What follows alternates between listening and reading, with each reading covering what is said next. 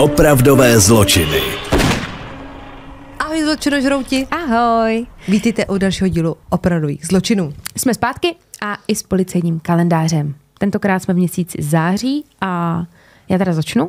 A mám tu vraždu z roku 2006, vražda novorozence ženského pohlaví. V lesích nad obcí Dneboch u Mnichova hradiště, okres Mladá Boleslav, se nachází pískovcové skalní bloky. V této lokalitě poblíž zřícenin bývalého statku dne 23. září roku 2006 bylo nalezeno tělo novorozence ženského pohlaví.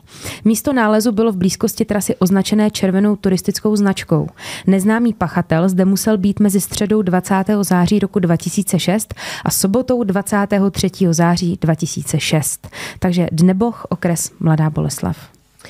Tak a já tady mám vraždu muže ve sklepním studiu. Jakub K. bydlel ve sklepním studiu domu v ulici Vencigova na Praze 2, Nové město. Ve čtvrtek dne 17. září 2020 v době od půl jedné ráno do 15 hodin a 40 minut jej zavraždili neznámí pachatelé přímo v jeho bydlišti. 17. září 2020 Praha 2 Nové město. A já si to pamatuju. Šel Že do to tam práce bylo. náš kolega A tam a říkal, takhle- že viděl, že, že tam řešili vraždu. Jo, Šel do práce to bylo a říkal tam přes tu to. hlavní silnici, Ano. tam, ano, Ano. já vím. Takže to není vyřešený. Ty brďo. No, Jakubka, uh. mladý kluk. No dobře, takže uh, Praha 2 a 17. září 2020. Pokud byste měli někdo nějaké informace, kalendář zavináč po jako policie České republiky.cz, tak pište. A dneska začínáš? Já dneska začínám. Hmm, tak začni. Dneska uh, zamíříme do států. Já jsem ti říkala, Spojených nebo do nějakých... do, sp- do Spojených států a mně došlo, eh, jaká jsem eh, Dilča, protože jsem ti říkala, že budeme eh, v Anglii, nevím, co mě to popadlo, ne, budeme v Americe. Ale USA je taky fajn. USA je taky USA je fajn. taky Tak. fajn. Budu mluvit o Karině Vetráno, která se narodila v Queensu, kde vyrůstala se svými rodiči a sourozenci. Měla úžasnou rodinu, hlavně teda se svým tatínkem měla krásný vztah a pokud jde o tu Karinu, tak to byla fakt nádherná holka. Ale fakt jako krásná ženská. Byla i chytrá, měla krásné dětství a dospívání a tím, že jako byla to fakt kočka. Tak samozřejmě uh, si užívala a často randila s klukama a byla to celkem... Uh, měla spoustu jako kamarádů a často chodila s kamarádkama ven pařit, ale nebyla to jako úplně v pravém slova smyslu pařmenka. Ona samozřejmě se dokázala bavit, ale měla neskutečnou disciplínu. Ať už eh, v pracovním životě, ve studiích, anebo právě i ve sportu. Ona se věnovala sportu a ze všeho nejvíc milovala běhání. To bych hrozně třeba chtěla milovat běhání. Jakože fakt, jako, že se těšíš a nemůžeš usnout na to, jak si ráno uběhneš svých 6 kilometrů. Snažila jsem se to zlomit, protože jsem někde četla taky ty motivace, že se to po nějaký době jako zlomí. A nikdy se to nezlomilo. Nevím, to... Vždycky jsem já dřív onemocněla, nebo mě zlomil alkohol a kocovina a pak to týden nešlo a furt jsem začínala jako znova a jako, jako, jako nepopírám, že jsem se snažila nějakým jako způsobem, vždycky se člověk snaží hejbat, vždycky se snažíš hejbat, protože prostě nechceš jako, chceš jako jíst a chceš pít, jako uh-huh. nechceš si držet, tak se jako hejbeš. Ale přesně, jako že bych si řekla, úplně, já bych, že jako v tom americkém filmu přesně jak ráno vstanete, Jo. uděláte si ten fresh, to smutíčko, to si vypijete, jdete se zaběhnout, jak říká Barča, těch 6 kilometrů, pak si dáte k snídaně vejce Benedikt, Ano. políbíte manžela a děti a jedete do kanceláře na Westside třeba.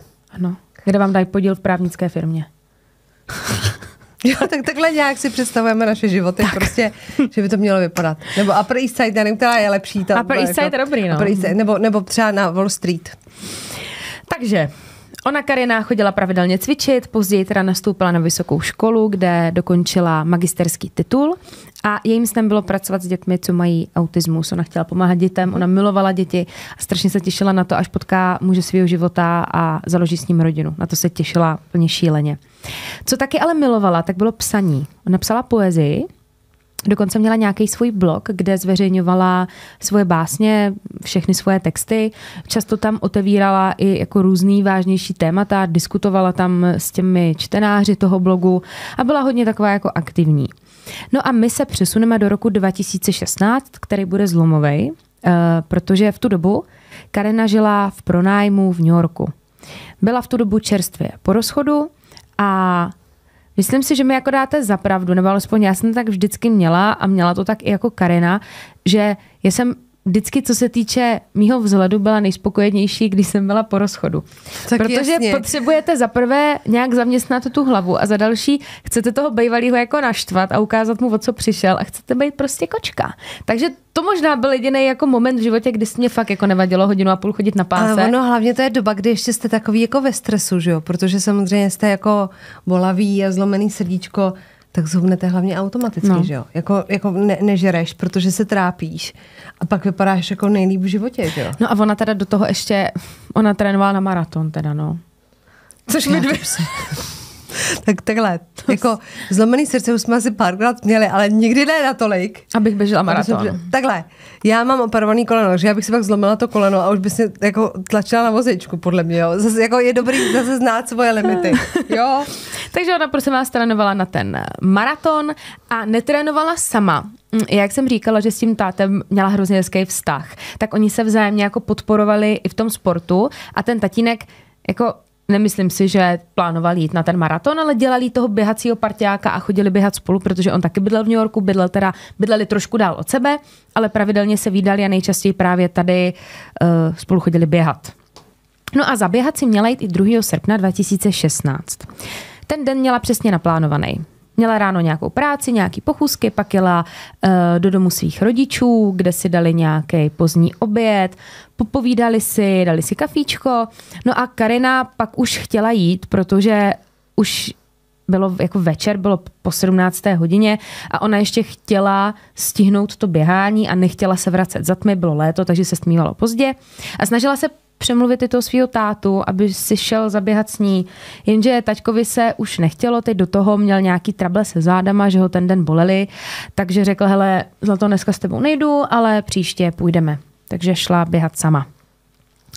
Tím, že se s těma rodičema byla fakt blízká, tak ji ti rodiče poprosili, aby jim pak jenom napsala večer sms že je v pořádku doma. Ta Karina jim to slíbila, byli takhle naučení, říká, hele, jak doběhám, tak se vám ozvu a odešla pryč. No, jenže Karina se neozvala. A už byla tma, bylo to hrozně zvláštní, její tatínek jí samozřejmě několikrát volal, psal jí SMSky, ale nikdo nebral telefon, což bylo jako hodně zvláštní, protože i kdyby pořád jako běhala, tak on věděl, že chodí běhat s takovým tím pásem eh, okolo ruky, kde má zastrčený ten telefon a poslouchá muziku ve sluchátkách. Byla to mladá holka, takže byla permanentně jako na telefonu, různé sociální sítě a podobně. A nebylo jí to jako vůbec podobný a měli z toho špatný pocit. Uh, takže na nic jako... Já se teďka omlouvám jenom. Jo, dobrý. Omlouvám se. Uh, takže z toho byli nervózní, jo. Teď ta její rodina, mamka s taťkou, naštěstí jako věděli, kam chodí běhat. Ona chodila běhat do Spring Creek Park, což byl normální, udržovaný park, kam chodili maminky s dětma na procházky, partičky kamarádů popět pivko, takhle v létě tam bylo jako dost lidí. A tím, že ten táta věděl zhruba teda to místo, kam šla běhat, tak eh, se rozhodl, ne, že šel přímo na policejní stanici, ale zavolal svýmu kamarádovi, který byl šéf policie. A chtěl to s ním jako probrat, protože nechtěl být hnedka hysterický, popsal mu celou jako tu situaci a i ten jeho kamarád, který dělal toho šéfa, říká, hele, to jako nahlásíme prostě jako její zmizení, jako je to celý zvláštní. Takže po ní bylo vyhlášeno pátrání, do kterého se teda zapojilo i nespočet dobrovolníků a oni prohledávali od rána celý ten park, jo. Ten její otec samozřejmě jako nespal a i když se setmělo, tak on pořád volal na ten telefon a oni ten park jako tam takhle, tam byla jako kdyby taková jedna hlavní trasa, kde se chodilo na ty procházky, ale v každém parku máte takovou tu jako odlehlejší část, kde jsou eh, keře, ten park byl fakt jako velký a kam už se nechodí. No a tam, tam to úplně... se chodí kadit. Tam se chodí kadit. a tam to úplně jako neproskoumali. A ten její tatínek, i když už se jako všichni začali jako rozebíhat domů. Ano, na, na to nedělali s tímhle, ale no nic. Co? No ne, že, ale to prostě ta- takovej, takováhle část je jako všude. Je to všude. Protože mě se totiž hrozně vybavuje a teď jsem strašně ráda, že jsme to přežili, protože já, když jsem eh, závodně lyžovala, tak přes leto byla příprava běžecká. A my jsme běželi třeba 20 kilometrů. Jakože trénuješ jako že já vlastně bych ten maraton Teď to koukám, no, ale to mi bylo, prostě, to mi bylo 15, 14. A můj táta je trenér, takže se mi to teď jako vybavilo. A my jsme tam měli místo, prostě bylo přesně to křoví tak jako obestoupený, protože jako běžíš 20 kilometrů a když to na tebe přijde, Tak musíš. jako není to princeznovský moment, jo, ale když to na tebe přijde, jak jako musíš. A měli jsme, a přesně v tom parku taky takovýhle místo bude, podle mě. Jako takhle, někdo by řekl, 21. století, Lucino, tojtojky taky fungují. No v málo v kterém parku je toj tojka. Já jsem byla třeba překvapená, že tady v Praze ve Stromovce jsou. Fakt. Jo. My v Lužánkách v Brně asi nemáme, ale my tam máme Ponavu. Co to je? To je taková hospůdka. A tam chodíte. Nebo jmenuje se Ponava. A tam, to se chodí, tam chodíte kakat. Tam chodíme kakat a pít. No takže prostě jako to mě napadlo, že tady v tomhle hledším křoví, že no. tam nemusí dít jenom zločiny, ale můžou tam lidi Takže možná prostě. proto tam nikdo nešel to zkontrolovat. A právě ten její táta tam jako furt chodil okolo a odmítal odejít. A fakt už byla tma. A on byl právě v takové té odlehlejší části toho parku a on pořád té Karině volal na ten mobil. No a jak volal, tak si všiml, že v dálce něco svítí. Ne. Tak k tomu běžel a zjistil, že to byl její mobilní telefon. Takže ho jako vzal a upozorňuji, on tam byl jako sám v ten moment. Tam byli policisté, byli ale jako v povzdálí, ale on byl v ten moment, tam byl sám. No a ten telefon ležel kousek od takového jako, takového křoví, eh, byly tam jako stromy, neudržovaný prostě prostředí a jemu to nedalo a šel se tam teda jako podívat a o něco zakopl, protože byla tma. No a to něco bylo ženský tělo, který, jo, který tam leželo. A bohužel teda našel svoji vlastní dceru. Teď samozřejmě, jako to, to je podle mě, jako t- už jenom to, že přišel o svoje milované dítě a ještě vlastně musí být ten, který jako no najde. hrozný. A teď bohužel ta Ka- Karina nevypadala eh, tak, jak chceš, aby tvoje dítě vypadalo. On začal jako plakat, křičet o pomoc, takže tam přiběhli ti policajti, eh, kteří ho okamžitě jako z místa odvedli aby místo jako zajistili, aby tam mohli zajistit co nejvíc možných důkazů. Bylo teda hned na první pohled jasný, že šlo o vraždu, protože ona byla částečně nahá, po celém těle měla modřiny až krábance, byla od krve a měla jako doslova jako dobitej obličej, že jako poznala si ji, ale měla oteklý oko, zlomený nos, jako byla celá domlácená, měla roztržený triko, eh, kalhoty a spodní prádlo stažený u kolen a samozřejmě byla provedena pitva, která teda odhalila, že ta Karina měla prasklou lepku. A policie se teda jako domnívala, že s největší pravděpodobností někdo praštil kamenem zezadu po hlavě a že to mohla být právě, eh, že to mohl být eh, následek té smrti, ale důsledek té smrti, tak. Jo, příčina. Příčina. Přemýšlím. Důsledek, následek, příčina. A, a, ale zjistilo se, že to nebyla příčina té smrti, mhm. protože ona po tom nárazu nějakým tupým předmětem, nejspíš teda tím kamenem, neupadla do, bevě, do bezvědomí, ale ještě vnímala a bránila se a měla vyražený dva zuby. Za nechty měla hlínu a Někde se jako uvádí, že byla znásilněná, někde, že byl jako pokus o znásilnění, takže bych dala, že se jí ten útočník snažil znásilnit a příčina smrti bylo uškrcení. Takže cítím jenom říct, že tady všechny tyhle indicie vedou k tomu, že ta Karin, eh, Karin, Karina musela strašně bojovat, ale jakože strašně bojovat. A bohužel teda se neubránila. Eh, Na místě činu byly zajištěny vzorky DNA, konkrétně teda spod jejich nechtů a taky na jejím mobilním telefonu a z oblečení. A když se eh, tady ten případ dostal na veřejnost, tak všichni byli v naprostém šoku, protože jako vemte si, že ta vražda se stala za bílýho dne. Ona nešla ve tři ráno z baru, což jako neříkám, že by to tu situaci celou omlouvalo. Ono se to nemá dít ani ve dvě, ani ve čtyři ráno. Ale jako já bych třeba očekávala, že budu se míň bát, když půjdu běhat o půl šesté večer do parku, kde to znám. A ta policie veřejnost varovala, aby se vyhýbali opuštěným oblastem toho parku, chodili jen po cestách, kde je velká koncentrace lidí a, a parku se vyhýbali večer a nejenom tomuhle parku, ale i okolním parkům, aby zbytečně neriskovali, protože nevěděli, jestli ten vrah nezautočí znovu. Mezi tím ta policie vyslechla rodinu a přátele, aby teda něco o, o Karině zjistili a zjistili víc informací, hlavně jestli třeba by někdo v jejím okolí neměl motiv jí tohle udělat, ale na nic se nepřišlo. Ona v tu dobu Sice byla po rozchodu, ale byla po rozchodu s naprosto normálním, logicky uvažujícím a chytrým člověkem. A neřešila žádného žádlivého zrzeného chlapa, peníze, neměla žádného stolkra, prostě nic. Takže to vypadalo, a o to je to horší, že ta Karina prostě jenom běžela do odlehlé oblasti parku, měla sluchátka, byla sama a byla bohužel ve špatný čas na špatném místě a narazila na toho svého vraha. Byla znásilněná? No to je to, co jsem říkala, že některý zdroje uvádí, že byla a některý, Aha. že se jenom pokusil. Jako tak či tak se ten dotyčný pokusil jí Takže to znamená, že to by mohl být jako motiv. Jo. Uh, Ti policisté se teda nakonec obrátili na veřejnost a vyzývali všechny, kteří ten den něco viděli podezřelého, aby se obrátili na policii a přišlo samozřejmě několik oznámení, ale nikam to nevedlo. Až teda na jedno mm, šlo o muže, který měl na starost údržbu parku, on tam vynášel odpadkový koše a tak. A byl právě v ten den k večeru v té oblasti, kde se našlo tělo té Kariny.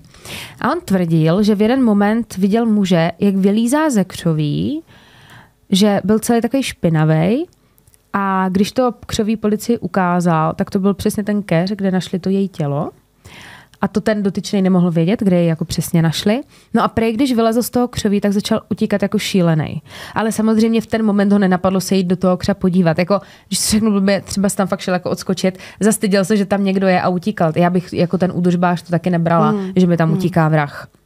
Ale teda chlapík byl celkem vnímavý a byl schopen podezřelýho popsat a dokonce byl sestavený identikit. Což je jako mazec. To je ale super. To je brutální. Až budeme řešit příští rok třeba příběh paní, kterou zabil pán z banky, tak ty ho nebudeš schopná popsat. Ano. Protože, ale on? Ano, v minulým díle si nám o něm řekla, ale ani si ho nevyfotila a my nebudeme vědět. Nejsem vnímavá. No, ta policie bude mít zase stíženou práci prostě. No, ten identikit byl zveřejněn, byl ve zprávách, letáky vysely po městě, vyselo to i na sociálních sítích, kde opět vznikly různé uh, facebookové skupiny, které se snažili jako pomáhat, ale nikdo muže nepoznal. Nakonec se teda do případu zapojila i FBI, a vyšetřovatelé se samozřejmě na místo činu několikrát vraceli a třeba i po půl roce tam chodili a snažili si všimnout něčeho, co jim třeba předtím uteklo. A právě jeden z vyšetřovatelů si všiml jedné zajímavé věci, protože pokaždé, když tam byli na tom místě činu i po tom půl roce, tak se vždycky okolo ochomítal nějaký chlapík v kapuci. Viděl ho jako v povzdálí a jenom se tam tak jako potuloval a jemu to nedalo tomu vyšetřovateli a dokonce ho sledoval jeden den a během té cesty ten týpek nevěděl, že ho ten policajt sleduje a on říkal, že se jako koukal ten pán jako třeba do oken cizích domů. Mm. Nebo se koukal do aut, že si jako zakrýval takhle ruce, abys tam viděla. Že to jako bylo strašně zvláštní a choval se divně. A nakonec teda ho ztratil z dohledu ten Polda. Asi nedával úplně pozor. Jenže přesně tady ten chlapík, který ho sledoval, se pokusil vykrást později obchod v tom městě. A tomu policistovi došlo, že to je ten muž, který ho předtím sledoval a který se pravidelně ochomejtá v tom parku. A tak si projeli jeho složku a zjistili, že jde o jistého Chanela Louise, což je mladý muž z Brooklynu, kde uh, žije v chudé čtvrti se svými rodiči a sourozenci. A ten Louis si měl jako malý dítě v dětství projít šikanou na škole, ta jeho rodina neměla jako peníze, tak nosil starý oblečení eh, a právě to byl ten důvod, eh, proč si z něho děti utahovali, že má jako oblečení po dědovi. Dokonce ho jednu chvíli i byli, dělali si z něho srandu, on byl u sebe takový, do sebe takový hodně uzavřený, neměl moc přátel, milostný život samozřejmě taky nula. A byl prostě ve škole takým velkým terčem. A někdo jako uvádí, že se dokonce měl léčit ze schizofrenií, ale pak, uh, že měl chvíli medikaci, ale pak už přestal brát léky. No a co je zajímavé, tak on bydlel cca 8-9 kilometrů od toho parku. Takže on ten park velice dobře znal. Nebylo to jako 100 kiláků, chápete? On do toho parku chodil často.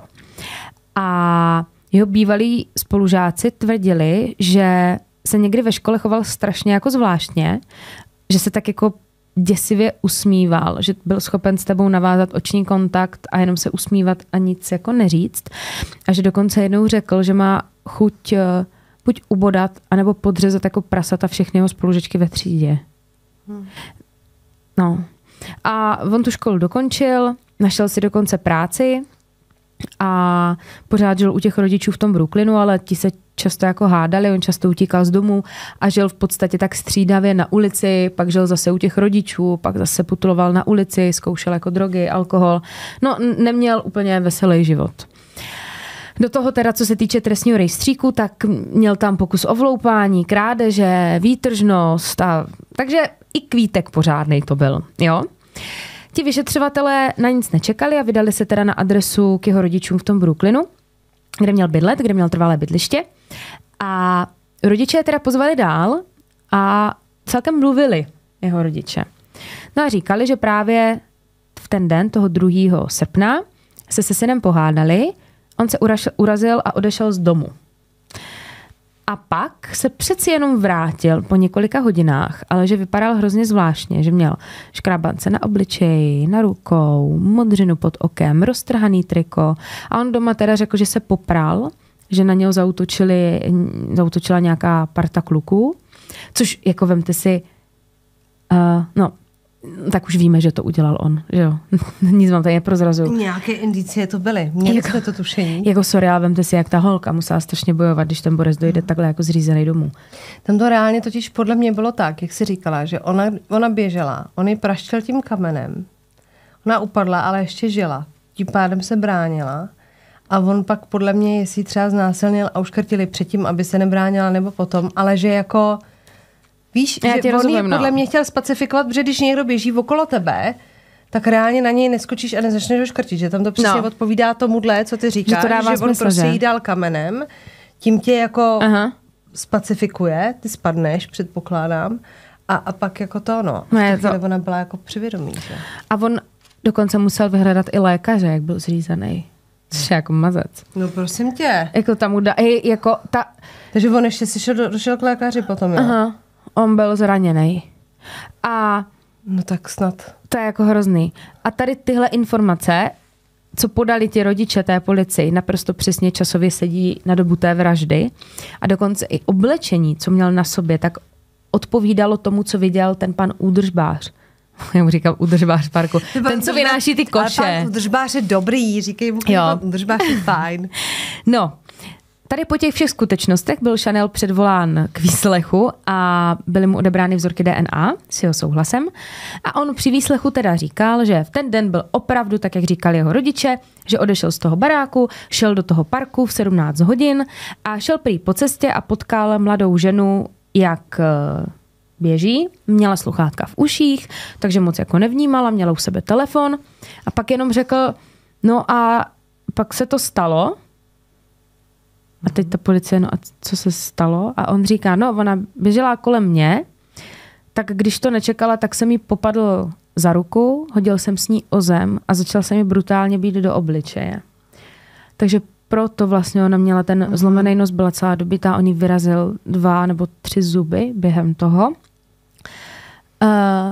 pak uh, tím, že se ona jako bránila, ta Karina, a bránila se jako hodně drsně, tak ho to naštvalo protože on ho pokousala, on ho poškrábala a bránila se teda víc, než čekal, protože ona fakt jako byla štíhlounká eh, jako holka a nečekal podle mě, že bude mít takovou páru. Takže jí odtáhl do křoví, aby je nikdo neslyšel. Tam jí praštil kamenem do hlavy a začali svlékat. A ta Karina se pořád bránila a protože se bránila hodně, tak se rozhodl, že ji uškrtí. Takže já si myslím, že reálně k tomu znásilnění jako díky bohu opravdu jako nedošlo, mm-hmm. ale byl tam jako pokus. On se k tomu teda přiznal. Pak se k tomu samozřejmě přidali i výsledky DNA testů, kde byla samozřejmě schoda. Byla tam i DNA jejího tatínka, ale ta byla nalezena na tom telefonu a dává to jako smysl, protože ten telefon uh, vlastně našel on. Pokud jde o soudní proces, tak ten začal 5. listopadu 2018 a u toho soudu Chanel Louis tvrdil, že je nevinný. Tomu ale nevyšlo, protože obžaloba měla reálný a hmatatelný důkazy, jako bylo to, jako mají DNA z místa činu, který ona měla pod nechtama, který byl na telefonu a pak ještě na oblečení. Navíc eh, se u soudu pouštěl i záznam jeho přiznání a na to teda ta Luizova ob, obhajoba reagovala tím, že tam byla šikana ze strany policie, on vypovídal pod tlakem, byl ke všemu donucen a vlastně tady tohle všechno strašně zpomalovalo, celý ten proces soudní. A teď do toho se tam začaly uh, řešit věci i okolo, okolo uh, rasismu, protože Luis byl černé pleti, takže byly jako protesty před tou soudní síní, že se to všechno na něho narafičilo a podobné věci, takže strašně to ten soudní proces všechno zpomalilo, ale nakonec byl teda Chanel Lewis shledán vinným a v březnu roku 2019 byl odsouzen na doživotí bez možnosti propuštění a vlastně tím, že ho odsoudili, tak zase byla jako obrovská vlna jako nevole, že celá ta porota byla rasistická a podobné věci. Jako nezlobte se na mě, oni tam měli DNA. On se ke všemu jako doznal. A Měli i všechno toho to svědka, sedělo. který i ti, toho i identifikoval, svědek, že jo? jako samotní rodiče. Samotní rodiče to vlastně řekli, protože oni nevěděli, že jeho, jejich syn je podezřelý z vraždy, takže samozřejmě jim i všecko řekli. Možná, kdyby věděli, že přišli, hele, váš syn je obviněný jako podezřelý z vraždy, tak možná rodiče budou trošku mlžet. Ale tady není o čem. Takže tohle to mě jako hodně vyděsilo, že Takže to je další činnost- to, no, to ale- další činnost, kterou nemůžeme dělat. kupte si běhací pásy nebo choďte běhat do fitka, no. Jakože, ne, to si To jo, samozřejmě a dělám o dva měsíce později paní zavražděná po cestě z fitka na parkovišti, když nastupovala do svého auta. Ne, my vás samozřejmě nechceme děsit, vy eh, znáte to, Hele, musíme, musíme být prostě opatrný, doufat, no. dávat na sebe pozor a hlavně prosím vás nepřestaňte běhat tady někde ve Stromovce nebo v Lužánkách, prosím vás, jo. Jenom prostě neběhejte ve dvě ráno. Můžete třeba zakopnout v té tmě. Tak, No. Nějakého ožralce tam zakopnete. To si řekla hezky. No. To bylo i s posláním. Ano, i z poslání. No a já, až se prohodíme, děkujeme. Ano. A až se prohodíme, tak já mám pro vás příběh, který a mě to teda velmi, protože to řešíme Dnes často, a když se nás někdo ptá, dnes a denně, dnes a denně, je to prostě na, na přehledu. A to, že já mám jako svůj takový citlivý bod Stevena Averyho, Ano, to víme. ano. Tak já jsem si přátelé našla novýho Stevena Averyho. Ježiši Kriste. Já už se z toho nikdy nedostanu. Je to tady zase. Mě naroste nos, zhorší se mi ksicht a budu jako, jak se jmenuje, Kathleen Z- z- Zellnerová. Catherine Zeta-Jones. A, a budu, no, kdyby byla jako Catherine Zeta-Jones, tak by mě to nevadilo. To jsem teď viděla někde, v, takhle. V případě Catherine Zety-Jones, ona na to šla dobře. Protože se říká samozřejmě, že uh, máš syndrom té ošklivější kamarádky, že táháš do baru ty ošklivější kamarádky, aby ty si neměla mm-hmm. konkurenci a byla ta hezčí. Tak ona si vzala o 100 let staršího chlapa, takže ona i když jí bude 60, vypadá Jo. prostě furt dobře, Jo, že ten ona- vypadá, že už umře. Jako, viděla jsem nějakou fotku a říkám si, tak tebe teď chlape vytáhli z rakve. Ty jsi ležel jak Drákula prostě v rakvi, jenom že teď nakopli nějakýma injekcemi, aby si přišel na toto sláva akci. A ona přesto, že už má svůj věk, no tak je moje sto, ale ten jeho táta si taky dožil stalet, že jo? Jak se jmenoval, to byl Kirk Douglas a tomu bylo podle mě 110, když umřel někdy před rokem, nebo ne, najdi, kolik je, počkej, no hele, Catherine Zeta-Jones, Jones, husband. Houdini. Houdini. No, My se tady na to jenom ano. podíváme. no jako nezlob se na mě, ale pán už je jako vypelichaný kocourek. Jo, a když si dáš jako, kolik mu je a kolik je, najdi si, kolik je jemu a kolik Hele, je ale musím... No ne, Počkej, tak to ona, je, jako ona, ona. Michael Douglas je její manžel. No jasně, že jo. Počkejte, já to jdu vygooglovat jako kanapatky.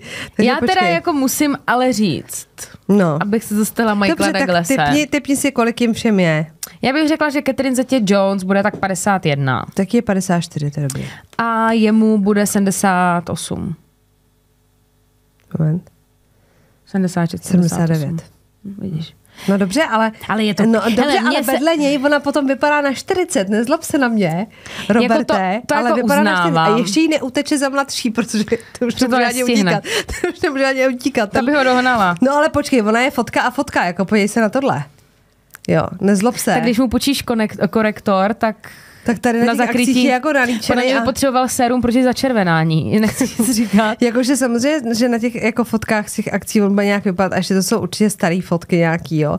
Musíš si najít nějaký, jako počkej, já vám najdu toho Kirka, a, ježiš, a teď my jsme v půlce, my se střídáme ještě, jo. nic, my si to jdeme vygooglit a Ale jo, hele, jakože to je takový, já tomu říkám, že kdybych měla být s dětkem pro peníze, tak s tímhle klidně budu. A klidně s ním budu jít spát. A tak s ním budeš i jako bez peněz, on bude mít charisma a oni jsou spolu třeba už ne to jako jo, ale já, 20 let. já bych nebyla s tak starým pánem, protože mě promiň, umře. tady má Víš, jako 30 pro mě, no jako to- mě bude 35 a budu No počkej, vdova. já ti chci říct, že nebudeš dova, protože jeho otec zemřel v roce 2020, teď to říkám, 103 let. 103 fucking let. No Kámo, to už bude štít, aby umřel, protože ty si zadoufala, že jsi ho vzala. To je takový to, že si zamilujete, vezmete si staršího partnera a doufáte, že on skápne, vám bude pět a padé a furt budete hrát a najdete si novýho, ale on s váma bude jsem- a ještě vás přežije. Víte, co je totiž prticích, já to chápu, oni totiž spolu začínali, když jako ona byla úplně mladinka No, a je tady a, on je 45. tady, a on je tady Hmm. sexy čtyřicátník, ale on je ten č- i čtyřicátník, jako No, a zestárne. proto ti to říkám. A ona No, si takhle. myslela, že jí bude padé, on zdechne, najde si někoho jiného, jenomže on jí přežije. Já vám říkám, pojďme uzavírat sásky, jestli on jí přežije. No tak dobře. Ale no ne, je to jako super, když se nejdeš prostě o tolik staršího muže, budeš vždycky vypadat líp. To je pravda, to je no. prostě zákon. To je zákon. Posmrtné skvrny. On vypadá prostě, že už umřel. No to je jedno, takže my se prohodíme a já pro vás mám novýho Stevena Averyho. Dobře, tak jdeme Tak na to. my si tady jdeme projít ty fotky a prohodíme se. Naschle. Jsme zpátky a já bych potřebovala, abyste se teď usadili pohodlně a poslouchali, protože ten příběh, který vám budu vyprávět, přátelé, to tady velmi dlouho nebylo. A je to jakože do prdele. Fakt? Jo. No tak pojď. Moje máma říkala, když poslouchala náš díl s Bravíčkem, že říkám furt vole. Nepřišlo mi to teda. Jakože já chápu, jako když byste poslouchali moje hlasové zprávy na Whatsappu, tak tam samozřejmě můžeme o tom diskutovat, že každý druhý slovo je to taky moje výplňový, jako má- má někdo každopádně, tak já mám vole. Ale při tomhle příběhu se budete říkat do prdele. No tak Nejde pojď. to říct slušně. Já si na to nemůžu balzám. To bys to úplně vyschly rty. No právě, no tak budu mluvit dlouho teď, jo, takže... Ne, bože. Představte si anglický venkov. Bavíme se o Chilendnu v Kentu a je to opravdu naprosto poklidná část Anglie. Takový to místo, kde se cítíte v bezpečí, kde každý máte nějaký ten svůj domeček, statek, já nechci, aby to vypadalo jako farmu, ale prostě žijete si tam ten svůj Jasně. život, znáte se navzájem, je to opravdu malý městečko a je to přesně ta část té země, kde prostě vypustíte ty děti ráno prostě ven, oni lítají po venku se sousedovit s dětma a nevím, hledají sousedovit z psa nebo lítají po lese a stavějí si bunkr a vy víte, že se prostě večer k večeři vrátí v pořádku domů. Mm-hmm. Protože tam je to prostě safe. A všichni o tom byli přesvědčení, všichni si žili svoje životy až do 9. července roku 1996. Toho dne se ke svým manželovi nevrátila na jejich statek Lynn Raslová.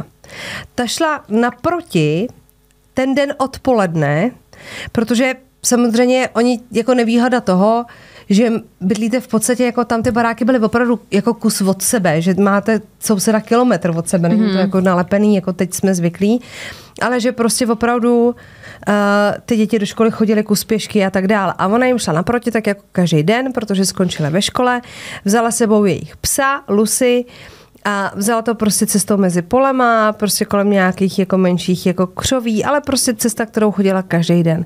Nikdo z nich domů už ale nedorazil. Jejich těla byla nalezena ještě ten den v křoví vedle polní cesty v tom Chilendnu.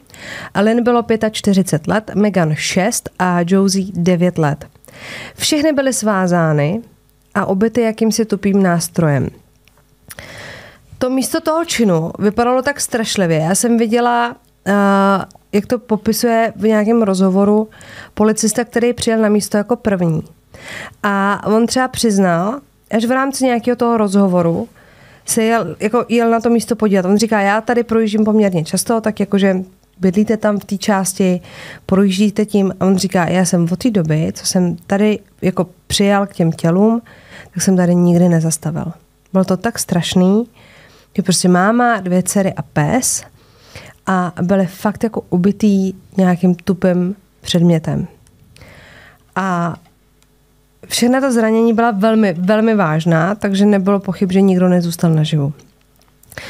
Doktor Sean Russell, otec těch holčiček a manžel Lynn, tak byl informovaný, že teda přišel o všechny ženy svého života. A teď jako, tam je jako nejhorší, že to není jako, že my se tady bavíme o tom, že je to jako třeba zabijou vám dceru nebo zabijou vám bráchu, ale on přišel jako kompletně o celou tu rodinu. Jako v jedné chvíli vám přijdou říct, jste sám. A, a, a, prostě, a konec. Konec. No ale tam nastal hrozně zajímavý moment, kdy jeden z policistů, oni prohlíželi to místo činu, tak zjistil, že ta devítiletá Josie dýchá a je naživu. Cože? Jakože ofous, fakt jako ofous. Odvezli do nemocnice. Tam mi teda lékaři nedávali moc šancí, jako furt se bavíme o roce 96, jo. Takže i ta lékařská jako nějaká jako možnost zachránit toho člověka, já neříkám, že bys to posunul až tak jako diametrálně, ale i jenom nějaký metody zjišťovací a tak dál. Je to jako opravdu už spousta let a posunuli jsme se. Takže oni prostě řekli, hele, nevíme, protože musíme ji uvízt do nějakého umělého spánku. Oni pak ve finále jako vlastně řekli dobře, ale když to, i když to jako přežije, to děvče, tak prostě měla prostě rozbitou hlavu, jakože ne jednou, že spadla neštěstí. Jako stačí ti, když spadneš nešťastně a je po tobě a ona těch ran utržila jako několik, takže nevěděli, jak velký bude poškození toho mozku, že jo. Ale ten otec, vlastně teď jste jako v té situaci, kdy dobře oplakáváte manželku a dceru, ale víte, že pořád máte tu jednu dceru, která vás jako potřebuje a ne, nemůžete, on to pak popisoval, nemůžete se zhroutit, nemůžete mm. se upít k smrti, nemůžete se předávkovat antidepresivama, nemůžete se litovat, nemůžete to vzdát, protože prostě máte tady prostě devítiletou dceru, která vás potřebuje. Nemá nikoho jiného, máte sami sebe. Takže Oni ji teda odvezli do té nemocnice, on se soustředil teda na, na nějaký to léčení a ta policie mezi tím teda, že začne vyšetřovat samozřejmě celou tu tragédii a hledat svědky. A moc toho jako nebylo. A hlavně teď ta policie, i pro ní to bylo takový, jako že máte vlastně nejdůležitější svědkyni, která to celý viděla a nevíte, jestli se probudí, v jakém uh-huh. stavu se probudí, uh-huh. jestli si to bude pamatovat. Teď je to devítiletá holčička, takže samozřejmě i ten výslech by musel být nějakým způsobem jako vedený. A vy jako policista to chcete vědět hned, že jo, ale nejde to uspíšit, je to takový to, jako že jste prostě na mrtvém bodě a musíte si nějak poradit. Samozřejmě, že se tohle to okamžitě rozneslo, protože ta komunita lidí byla jako spjatá a teď prostě ty lidi se hrozně báli, protože to nebylo jako, že loupežný přepadení někde, nebo prostě někdo za bílýho dne odpoledne šel, zabil mámu, dvě děti, a psa svázali a ubili je. Jakože úplně ta brutalita a agrese v tom činu. A teď si říkáte, kdo to jako byl? A jako, ne, jako není to místo, kde prostě to je velké město, kde přijde spousta cizích lidí, ale ty lidi se navzájem znali, takže samozřejmě přemýšlím nad tím, je to můj soused, je to někdo, koho znám, je to mm-hmm. nějaký můj příbuzný. Ty rodiče přestali děti pouštět ven, doprovázeli samozřejmě i do té školy, ale ty mámy nechtěli ani chodit třeba s těma dětma na procházku, protože to nebylo, že někdo přepad jedno dítě, ale opravdu šli jako tři lidi a pes, jakože musíš prostě spacifikovat tři lidi, ať je to, jak je to, prostě spacifikovat tři lidi. Takže ani to, že ty půjdeš jako máma s tím dítětem a máš za něj zodpovědnost a cítíš, že přece by to ubránila, tak to neplatí. Takže mm-hmm. oni přestali chodit ven s těma dětma, protože prostě se necítili v bezpečí. Policie okamžitě vydala nějakou jako výzvu, co se jako dělo, měli nějaký jako čas, že půl pátý odpoledne se vraceli uh, z té školy, protože holky měly ještě nějaký plavání, takže prostě, jestli někdo neviděl něco podezřelého. Podařilo se najít svědka, který se přihlásil s tím, že zahlídl nějakého muže, jak vystupuje obezřetně z auta krémové barvy, to poznáš, že se rozhlíží, a pak vyhazuje do křoví nějaký pytel na odpadky a rychle odjíždí. Což mu samozřejmě přišlo podezřelý, aniž by věděl, že se něco stalo, ale tak je to divný. Ale tak spíš máš jako pocit, že třeba tady vyrazuje nějaký nezákonný odpad nebo něco. A, tak ten pytel rozbalil a našel v něm na pruhy roztrhaný ručník celý od krve, takže to té policii nahlásil, říká, hele, já jsem to tady našel, takže ta policie si proto dojela a měla nějaký důkazy. Jenže rok 96, takže oni to samozřejmě schovali, ale jako v DNA v tu dobu jako mm-hmm. nezjistíš jako nic, že jo. Pak se přihlásila svědkyně, která tohleto krémový auto potkala na silnici vedoucí z Čelendnu a dokázala ho jakž takž popsat, že jel jako před, za ní, pak jako předjel a co se týká pitvy, tak ta prokázala, že teda Lynn byla udeřena do hlavy nejméně 15krát, Megan nejméně 7krát, obě utrpěly silný fraktury lepky. Chápete, že jako tohle uděláte malýmu dítěti a ženský jako mámu s dětma, probovat, zabít mámu s dětma, to je prostě vůbec to nepochopíte. No a ta Josie teda utrpěla taky frakturu lepky a tam já jsem našla ještě v nějakém článku, ale to bylo jenom v tom jednom, že měla normálně otevřenou tu lepku, že za uchem mi vytýkal ten, ten mok jako z toho, z té hlavy, že prostě no hrozný. A mezi tím teda policie zveřejnila nějakým způsobem identikit toho pravděpodobného pachatele, protože měli toho chlapíka, co viděl toho muže s tím pytlem. Ta, ta ženská toho řidiče samozřejmě nepopíšeš, protože do toho auta jako nevidíš, odráží se ti světlo, ale měla jaký, taky nějaký jako identikit. Pop, popsaný auto a nic. O případu psali spousty novinářů, mluvila o něm celá země, ale prostě ty podezřelí nebyly, takže ty lidi se dál báli. A ta Josie mezi tím se nějak jako probrala z nějakého umělého spánku, jenomže to prostě nevymyslíš. Při tom útoku byla poškozená ta část mozku, která je zodpovědná za řeč. Takže ona se probrala a nemluvila. No. Takže vy máte svědka, který to jako viděl a nemluví. Ale uh, ta policie měla i jako záběry, který pak zveřejnili v rámci jako televizního vysílání, protože ten příběh je tak strašně silný, jakože přijdeš o celou rodinu, pak vlastně nepřijdeš, pak ta dcera, teď ta se z toho dostává, teď musela, jako neumíme si nikdo představit, co v sobě musí mít devítiletá holčička, před kterou zabili její mámu a její ségru, pokusili se zabít i ji. Co v té hlavě musíš mít za maglajs? Mm-hmm. A ještě se dostáváš jako z fyzických jako problémů, tak ještě tohle k tomu. Takže oni vlastně řešili, že ještě může trpět samozřejmě nějakým traumatem, logicky, takže na ně museli jít jako, teď ten táta s ní chodil na nějaký jako koně, teď si za ní chodila hrát nějaká jako psycholožka, jakože opravdu s ní jednali jako adekvátně tomu věku. Ta celá země o tom mluvila, sledovala to. Myslím si, že u nás se o tom nepsalo tolik, protože byl 96. nebyl internet, že stát se to jako dneska, tak o tom píšou mm-hmm. úplně všichni. A oni prostě museli jí dát čas, zahojit i ty jako psychické rány, kdy oni si s ní třeba hráli s nějakými jako postavičkama a snažili se jako, že to je maminka, to seš ty, to je ségra, víš, jako nějakým způsobem, mm-hmm. aby ona strávila to, co jako zažila a pak o tom byla schopná, protože oni nevěděli, jako jestli třeba nemluví jenom proto, že je potom traumatu, že vlastně Nevěděli tu stoprocentní příčinu. Ne, nevíš toho. vlastně, a ten mozek je tak složitá věc, že to jako vlastně. si nikdo neřekne, že jo. Takže oni na ně museli jít opravdu velmi, velmi pomalu. No a prostě plynul ten čas a v průběhu příštího to, toho následujícího roku, jakože co plynul, tak prostě rostla hrozný tlak na tu policii, protože ty lidi se strašně báli a hlavně třeba ten táta se bál kamkoliv pustit tu holčičku. No tak to se nedivím. Protože teď ty víš, že ti teda zabili manželku a dceru a ta dcera, která to přežila, tak ten pachatel je furt někde a ten nevíš, kdo to je. Jako furt ti v té hlavě musí přece běžet, jako co když to je soused odvedle. Hmm. Víš, jako ne, a nemůžeš jít nechat s nikým, protože ty nevíš, kdo to byl.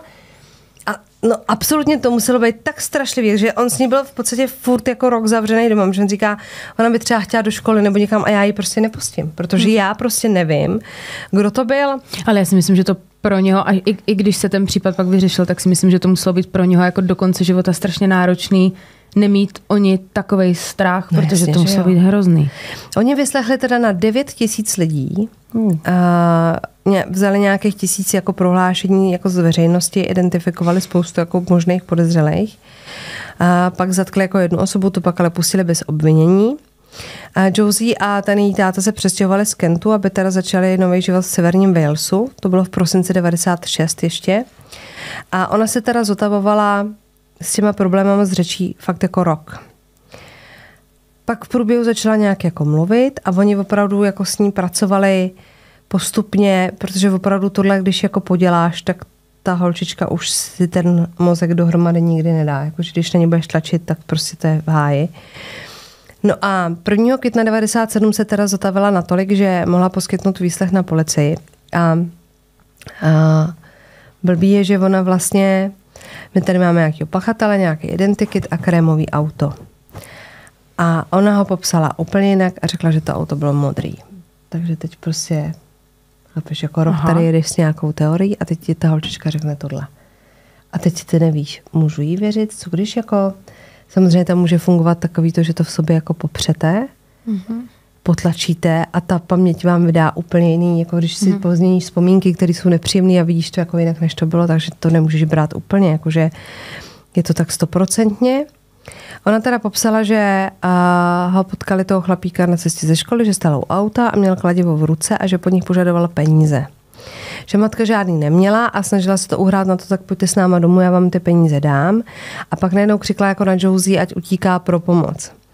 No a on jí dohnal, tu Josie, jako první praštěl tím kladivem a pak je všechny svázal. Zavázal jim oči a dotáhl je do takového křoví, on je jako přepad do takového křovíčka a tam jako zatáh do toho roští, tam je pak našli. A teď jsem, že oni měli zavázaný oči a to je jako, že křičej.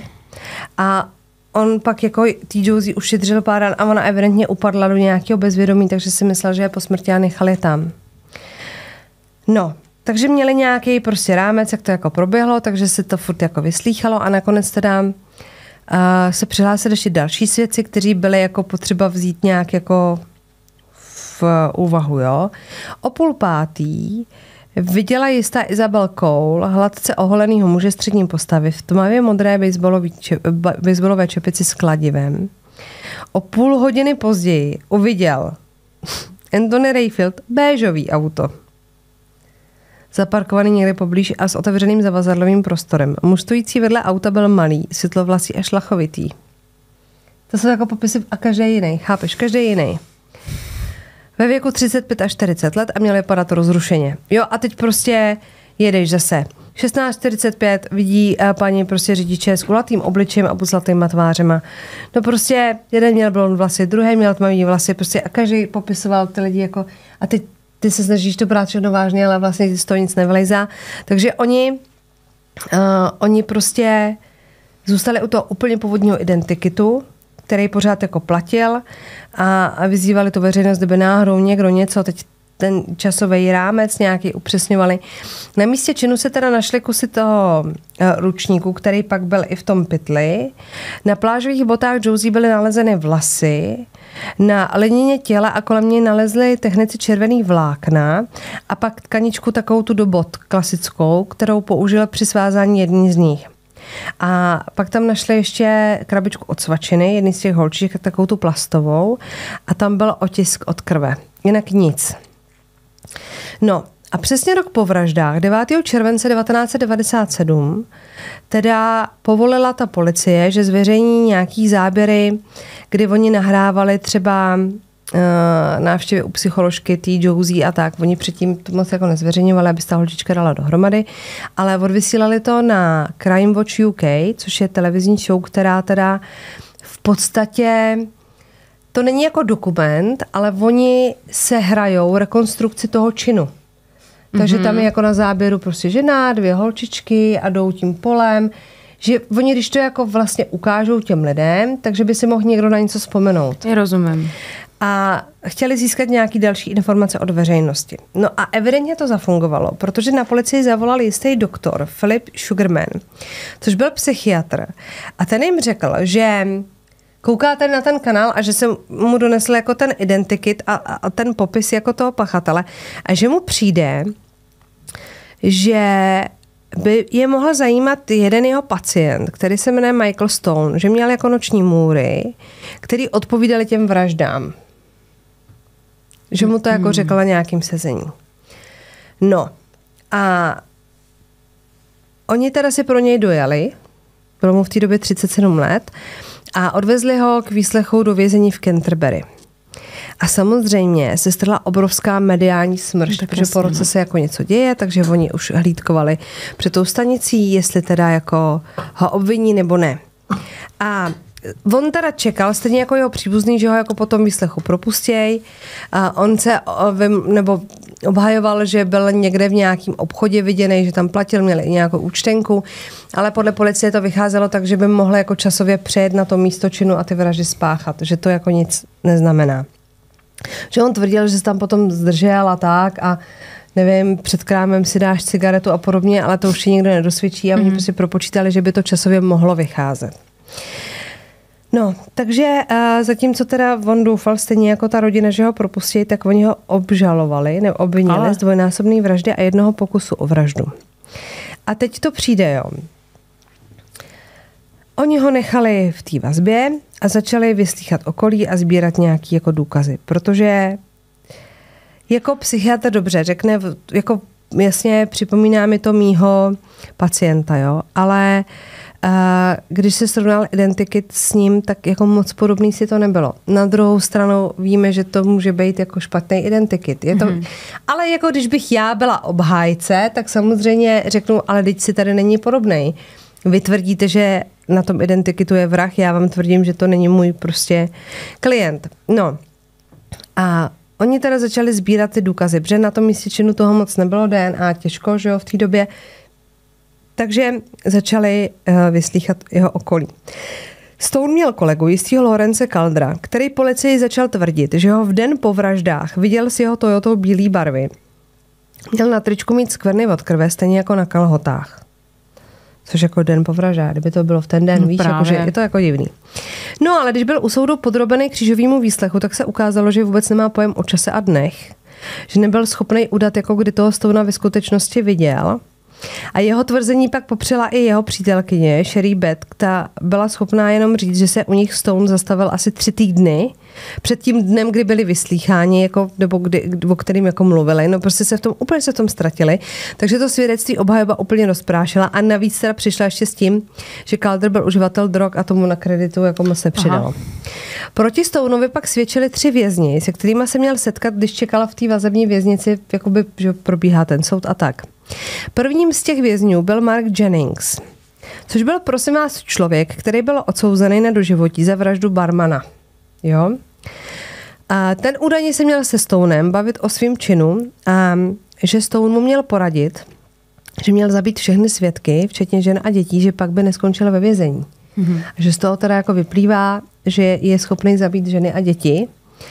A v tomhle případě obhajoba toho Stona zjistila, že deník The Sun měl za tohleto svědectví, za ten rozhovor, zaplatit sestře Marka Jenningse pět tisíc uh, liber. Wow. A že když odsouděj Stona, tak přidá ještě dalších deset, protože budou mít materiál, že jo. Ty bláha. No, takže a to vlastně nepřímo, pak jeden novinář z toho Sun jako potvrdil, když on řekl, jako, že mu zaplatili za rozhovor, že jako motivací nebylo usvědčit so- Stona, mm-hmm. ale že zaplatili Ano. prostě Jenningsovi za rozhovor. Dalším vězněm, který přišel se svědectvím proti Stoneovi, byl chlapík, který skončil ve vězení na dva roky za zastrašování svědků. Jako samý milí lidi prostě. Barry Thompson. Tomu prý jednou při hádce měl Stone říct, že u Josie udělal chybu, ale že u něj ji rozhodně neudělá. Jakože, chápeš. No a Stone byl teda v průběhu toho vyšetřování, že ten soud chvíli trval, že jo, stěhovaný z věznice do věznice a on pak normálně vyloženě žádal, když ho převezli do nové věznice, jestli může jít na samotku. On prostě řekl svým právníkovi, že už má strach, že pokud ho někam zase umístí, tak se objeví zase další nějaký vypravěč, který bude tvrdit, že se mu přiznal. On říká, oni ze mě udělali člověka, který kamkoliv přišel, tak se přiznával. Chápeš? A nejsou to lidi, se kterými jsi 20 let v celé. Jasně, no. A po 15 letech už si k sobě najdete cestu, tak se jim jako přiznáš. Ale jako reálně tě přestěhují, nevím, po 14 dnech do jiné věznice a ty začneš lidem vyprávět jako na potkání, kor, když ještě není rozhodnuto o tvojí vině, že jsi to jako udělala, tak to nedává smysl, že jo? Takže on normálně prosil, aby šel na samotku, že už prostě nechce se dostat do situace, že bude zase někdo vyprávět. Že prostě se mu přiznal. No, Všechna ta předchozí svědectví se v podstatě pak jako podařilo vyvrátit, ale bylo jedno, na kterým jako hodně stavěli. A to měl na svědomí Damien Daly. Ten byl prosím vás v celé, která sousedila se Stounovou. A jednou večer si měli údajně povídat díky trubce vzduchotechniky, kterou se nesl v zvuk.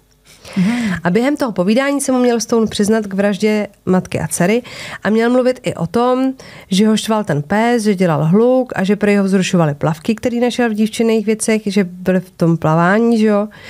A proto i ten ručník potom použil. A na základě těchto tvrzení vlastně to jako vypadalo, že opravdu mají jako správnou osobu, protože věděl tady ty detaily, jo. Ale pojďme si říct, že no to vyšetřování trvalo rok a tím, že o tom psali všechny ty plátky, tak ono spoustu věcí Jo. jako si jako dozvíš, aniž bys prostě u toho musela být, že jo. Oni se jako prokazovali, uh, že, že šli s tou porotou do té cely a zkoušeli, jestli ten zvuk se jako nese, jestli je to reálný vůbec. Že ten mm-hmm. obhájce říká, hele, to prostě je jako fake, že si budeš tady přes zeď, takže to zkoušeli. A prokázali, že ano, slyšet to je, ale musíš na sebe křičet. A jak moc jako příjemný ti je rozhovor, ve kterým se jako přiznáváš jako k vraždě a mluvíš o tom, že tě vzrušovaly plavky nějaký holčičky, když to na to druhou musíš jako řvát. Tak hlavně už to řekl asi 28 lidem, No. tak proč by to řval přes No. trubku po 29. A jako nedává to prostě smysl. No, takže tohle uh, proběhlo u toho soudu. Co je pro nás ale zásadní, tak neseděly ty forenzní důkazy. Ukázalo se, že otisk prstů, který našli na té krabičce od svačiny na místě činu, není Stoneův. Žalobce taky tvrdil, že tkanička, kterou byla teda svázaná jedna z těch žen, tak byla určitě Stoneová, ale došlo k tomu, prosím vás, tak, že v době těch vražd bral Stone drogy a že je známo, že k výbavě narkomanů tkanička patří, že oni si jako přiškrcují tu ruku mm-hmm. že jo, před vpichem. No a že druhou stranou ty tkaničky držíš jako v těch zubech, že jo, abys to jako mm. to. Takže by na tkanici měla být DNA ze slin. Mhm. Oni v té době neuměli úplně jako identifikovat, jako, že DNA tak, jak to šlo, ale evidentně uměli jako porovnat, jestli je třeba tvoje. Jo. Jakože... No, ale nebyla Stounova. Takže forenzní důkazy nada. Takže logicky, jak novináři, tak všichni jako čekali, že teda u soudu zazní nevinen, protože přece není možný jako odsoudit člověka, jako když jediným důkazem proti němu je svědectví nějakého vězně, který jak se ukázalo, že teda je žhář a násilník. 23. října 98 eh, se porota radila 15 hodin a vrátila se s verdiktem vinen. A to v poměru 10 ku dvěma. A prej bylo svědectví Damiana Dalyho a toho Thompsona naprosto přesvědčivý. A soudce vynesl rozsudek tři doživotní tresty. Tři doživotní tresty. Ano. Týden po vynesení toho rozsudku ty novináři, jako tam už bylo hrozně cítit, že těm novinářům to přijde fakt divný. Jakože odsoudit člověka, když ti nesedí otisky a podobné věci na základě jako tvrzení jednoho vězně nebo dvou, je to jako zvláštní. Takže eh, prosím vás, novináři z deníku The Mirror přijeli za tím Thompsonem mm-hmm. a řekli mu, hele, pojď, pojď s náma udělat rozhovor, asi můžu úplně nějaký prachy, já myslím, že na ty lidi to bude jako platit. A ten jim řekl, že nic, co pronesl u soudu, nebyla pravda, že Stone s ním o vraždách nikdy nemluvil a on si to celé vymyslel. No a? Takže měli rozhovor, měli důkazy, takže Stone a jeho obhájci okamžitě podali odvolání. 6. listopadu 2001 a soud mu 8. ledna 2000 ne, 2000 odvolání a 8. ledna 2001 mu udělali možnost odvolání a nakonec mu povolili obnovu celého procesu. 5. září 2001 začalo u Nottinghamského korunního soudu Stonova nový řízení a 4. října, to znamená po měsíci, byl Stone opět shledán vinným z vražd. A opět většinou 10 ku dvěma. Takže a už měli jenom jedno to svědectví. Jenom jednoho toho vězně. Obhájce u toho soudu napadnul to svědectví a říká, že o tom Dailym se ví, že on to o sebe vykládá, že to řekla i jim u toho výslechu, že lže kudy chodí. Navíc už užíval dost jako ve velkém heroin, takže když už se dělala ta obnova procesu, tak Fred vypadal na fotkách už jako zombie ze Sherwoodu. A zajímavý bylo, že on měl teda na krku obvinění z nějakého žhářství a nějakého násilí, tak najednou byla stažena ta obvinění a pobývala na svobodě. A nikdo Cože? to nedokázal vysvětlit. A přesto všechno to stačilo k tomu odsouzení a opět dostal tři doživotní tresty. Jo, pokračujeme. Obhajeba se zase odvolala, na začátku ledna 2005 získali právo na odvolání. 19. ledna 2005 bylo odvolání zamítnuto. A oni teda to zkoušeli různýma cestama, takže v dubnu 2006 podali třeba právní výzvu k tomu, že o něm média psala jako, že, že na začátku celého toho jeho příběhu byl ten psychiatr. Mm-hmm. A oni psali, dokonce se k tomu vyjadřovali odborníci i ten jeho psychiatr, že třeba novináři napsali, že dva roky před těma vraždama říkal nějaký sestřičce prostě v nějakém ústavu, že s ní o tom, jak prostě zavraždí lidi, a že by ho měli zastavit a že nikdo jako nezakročil a že to byly prostě lži, že už jako pak už se na to nabaluje jako sněhová koule 90% z toho jako nebyla pravda, jenomže ty novináři to jako psali, ty to čtou tvoji příbuzný, tvoji známí a že vlastně tím porušili právo na soukromí podle Evropské úmluvy o lidských právech, máme je tady zase. A že když uh, se prokáže, že máte jako psychické problémy a byli jste v nějaký psychiatrický péči, což on předtím byl, tak to vyšetřování by mělo být jako nezávislý a reálně by o něm neměli úplně jako informovat média, protože mm. prostě jsi nějak jako nemocná. No, 21. prosince 2006 uložil soudce vrchního soudu Stounovi eh, teda trošku změnu toho trestu, že se může odvolat po 25 letech. A tam bylo hrozně zajímavý a hrozně mě jako překvapilo, že jsem viděla nějaké rozhovory, kdy ten tatínek tý Josie se k tomu jako vyjadřuje. A vlastně i on sám, on v sobě neměl takovou tu slepou nenávist, jako že by řekl, jsem rád, že sedí prostě pachatel, víc mě to jako nezajímá. Když ho odsoudili poprvé vlastně toho stouna, tak říká, že je rád, že je pachatel jako za mřížima, ale pak když tedy došlo tady k těm jako věcem, tak říká, víte, co je nejhorší, že vlastně jako jestli to neudělal, že je mu ho jako líto a že vlastně na tom je ale nejhorší to, že jenom, že sedí teda nevinný člověk, Oni k němu přistupovali, protože ty novináři vyšťourali, že on třeba kradl nebo že měl být jako násilnický, ale jako nezabil nikdy do té doby, takže jenom prostě, že máš nějakou minulost, mm-hmm. tak ti to jako hodí na triko. Ale že jako nejhorší na tom je, že jestli teda zatkli nevinnýho, tak ten, co to udělal, furt by já teda no, po té svobodě. No, co se týká toho Michaela Stona a jeho případu, tak ten ukázal na docela hluboký problém, kdy ty novináři informovali o tom, že teda není duševně zdravý, že dva roky před vraždama mu byla diagnostikována porucha osobnosti, která se projevovala teda násilnýma sklonama chování. A problém byl v tom, že oni mu jako diagnostikovali tu poruchu a řekli, hele, ale to není prostě léčitelná věc, takže vás nebudeme nikde hospitalizovat, a teď ty novináři samozřejmě s tom začali šťourat a začali jako řešit, jestli to je jako správně, že kdyby ho třeba někde hospitalizovali mm-hmm. a nějak ho léčili, tak uh, by k tomu nemuselo dojít. Takže se začalo řešit, že by se měl změnit zákon, který by se postaral o to, že když budeš mít neléči, neléčitelnou poruchu, tak aby prostě se jako hlídalo to, že budeš brát tu, ty medicamenty tak, jak máš, protože samozřejmě jako to, že tě vypustí, aby se ambulantně léčila, myslím si, že bude dost vysoký procento lidí, který to nedodrží mm-hmm. a mhm. pak to jako končí špatně. Takže jako by chtěli, aby, aby došlo prostě ke změně zákona, aby lidi s neléčitelnými poruchama nebo lidi, kteří odmítají brát léky, byli nuceně uh, v léčení v těch zařízeních. Odpůrci toho zákona se báli, naprosto asi správně, že se pak budou házet lidi, kteří nejsou třeba mají nevylečitelnou psychickou nějakou poruchu, ale nejsou nebezpeční té společnosti, mm-hmm. tak aby nebyly zbytečně, zase jako nemůžeš každého zavírat prostě no, na základě nějakého precedencu. Nicméně zákon se stal opravdu zákonem v roce 27 a byl implementovaný 3. listopadu 28. No a teď se dostáváme do bodu, kdy se vracíme k minulému týdnu, k minulému dílu. Mm-hmm. Protože 6. února 2022, což znamená víc než 25 let po vraždách, se k útoku na všechny tři ty ženy přiznal známý zabiják Levi Belfield. Ne.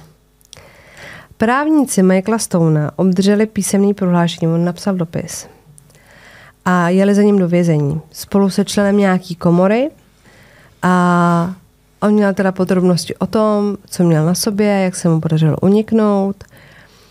On si odpikává ten doživotní trest, že jo, za ty dvě vraždy a jeden pokus. Takže oni za ním měli do vězení. A Oni prostě za- ním teda přijeli, jel za ním ten Stoneův právník, protože Stone sedí ve vězení a člen nějaký té komory. A ten Levi říká, já vám řeknu, jak se to stalo, ale jediná moje podmínka je, že se ta informace nesmí dostat na veřejnost, jinak to popřu. Takže oni to všechno sepsali a on jim podal to svědectví, říkají si tak fajn, máme to. Takže jeli na policii, jeli k soudu, druhý den ta informace unikla do médií. Ne. Takže Levi svoje slova dodržel a všechno to popřel. Nicméně právník Michaela Stone měl podepsanou jeho výpověď a nebyl u toho sám, jako že by to vypadalo, že ho donutil mi u sebe toho člena toho kom, té komory, ale ten soud to jako nový důkaz neuznal. Ne, to si děláš srandu. Ne. ne, to se nestalo. No a oni teď přišli s tím, že teda v policejním skladu po těch 25 letech našli tu tkaničku, která byla nalezena na místě činu. A chtějí teda toho Belfielda spojit s tím místem útoku podle DNA, ale ještě se tak nestalo. Proč se tak nestalo? No ještě ne. Takže věci se mají teď tak, že my jsme si minule řekli, že ten se vožení ve vězení, stejně tam schně v tom vězení, no ale Michael Stone evidentně sedí už prostě 20 let jako zbytečně. V jakém roce osoudili? Že já jsem se zavřela. 2001 tuším. Co? Chápete to? Já prostě... Jak je tohle možný?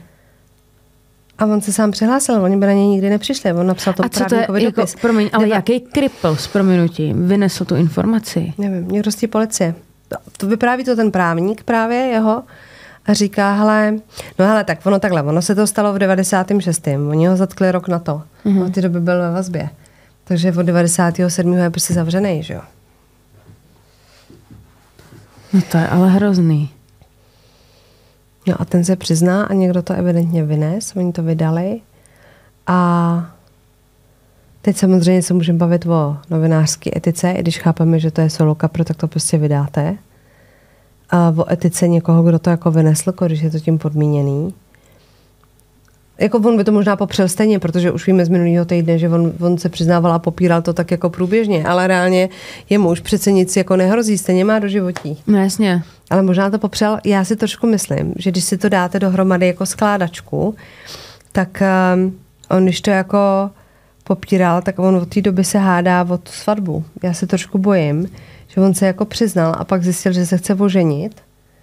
A když by mu přišel ještě další jako vraždy, tak mu to zkomplikuje ten, tu možnost té svatby.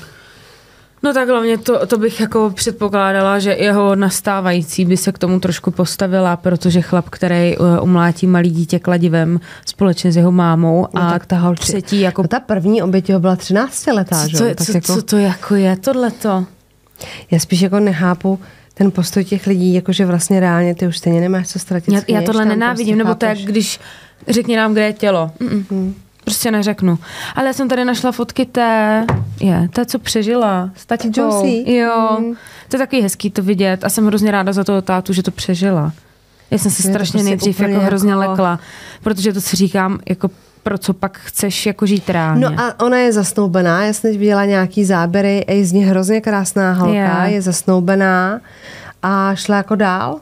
A funguje ve spoustě jako charit, že pomáhá a tak. A ona, když byla ale malá, tak ona, prosím vás, ona byla v té Británii jako celebrita. Existuje video z nějakého předávání nějakých cen a tam říká, má ten moderátor a teď přijdou na pódium tři Spice Girls, jde tam Emma, nebo Jerry, já nevím, prostě jde tam Viktorie, Jerry, no a Josie. Takže když si Spice Girls předává cenu, když je ti prostě 9, 10. Oni opravdu, ona v té Británii byla jako za hvězdu, protože přišla takovouhle hrůzu. Tak to je jako... A fakt tomu šli všichni jako naproti. Tak to byl velice náročný příběh a asi ho zařazuji do jeden z nejhorších příběhů, co jsme No. tady měli. Je fakt moc pěkná. No. no. Má koně. Takže tak. Tak to moc děkujeme. A vidíme, jak lívají, no. Debil. No ale taky jako čekáš prostě 25 let, než se přiznáš. A necháš Že si tam dět je. někoho jiného. Že to je přesně, no, A tak jako je pravda, že, že, že čekat jako od člověka, který jako je schopný zabít mámu a dvě děti, jako nějaký svědomí, asi je nonsense. No. Že to, a, a chudák teda ten Stone, jako to promiň. Hele, já jsem ročník 96, oni ho zavřeli v 97. Tak kdybych, to, to, to je celý život doslova. Tak kdyby celý můj život nebyl. Ale on nebyl. to jako nebyl žádný svatoušek, jo. Takže reálně si myslím, že by se do toho vězení stejně jako dostal, ale určitě ne na doživotí a určitě ne s takýmhle mediálním humbukem a zavřeli by ho za nějakou vykrádačku prostě no. krámu třeba. Ale rozhodně to teda evidentně nebyl člověk, co by udělal takovou hrůzu. No. Huh, no. no, takže tak, máme nad čím přemýšlet, přátelé. Víte si fotky našich zločinů, našich zločinů žloutů. Já jsem úplně jsem se do toho tady tak vžila. Oh. Ježiš, já bych chtěla zkusit mít růžový vlasy. A tady někdo plete a já vím, co pletete. Co pletete? Si myslíš, že to bude, to poznáš. Jak to poznáš? Já si myslím, že to bude na kapesníčky. Víš, jak to z toho taháš? Jo, jako obal, jako aha. Já myslím, že to poznáš podle druhů té vlny. Říkám si, to už jsi velká znal- znalkyně pletení. Tady párček s pejskem. Tady slečna na procházce, Tady slečna s chlapečkem. Tady slečna s holčičkou, má tu růžovou dečku, předpokládám. No, Bože, tady. ale tady je mamin. A tady máme besed. Hele, a tady je čerstvá. Mám to být, tady má kdo popík na naší besedě. Teď už určitě nemá, protože beseda byla naposledy na No a to se teda statečná. Já si doufám, že to je z té podzemní, protože v létě, jak jsme jeli, jak tam bylo to vedro, že jste nebyla třeba v rok opeře. Tam, tam to je trošku hraniční. Tam bych s takhle velkým popíkem už možná nešla. Ale jak by se tam porodila, my by se o vás jako postarali, v klidu, jo. v klidu. Dezinfekce máme dost. Dezinfekce Skočilo, máme pardon. dost. Takže si vás tady všechny zase vyvěsíme. Tak posílejte dál přes opravdové zločiny CZ. Stěna je prázdná, je to na vás. Je to jenom pro vás ta stěna. Jenom pro Tak jo, tak si mějte krásně. Pa, pa, pa. Pa, pa.